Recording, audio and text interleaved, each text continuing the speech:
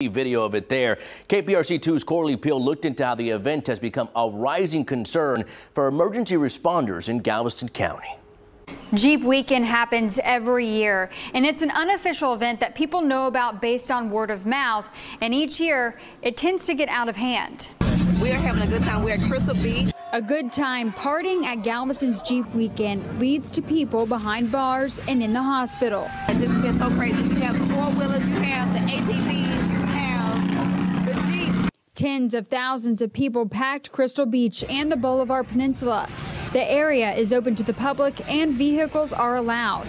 As of Sunday morning, the Galveston County Sheriff's Office says 233 arrests were made and more than 200 charges were filed. At this time, it's unclear what those charges are, but more than 50 people were rushed to the hospital. One woman is in critical condition after deputies say she fell out of a vehicle and hit her head. Those numbers are up compared to previous years. In 2022, records show 100 arrests were made and a deputy was injured during Jeep weekend. 200 arrests and one death was reported in 2021. Two people were shot in 2020 and more than 100 arrests were made. One person died in 2019.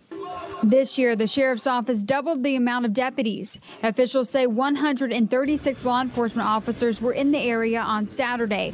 Along with beach patrols, deputies monitored neighborhoods to make sure homes were safe from vandalism. Corley Peel, KPRC 2 News.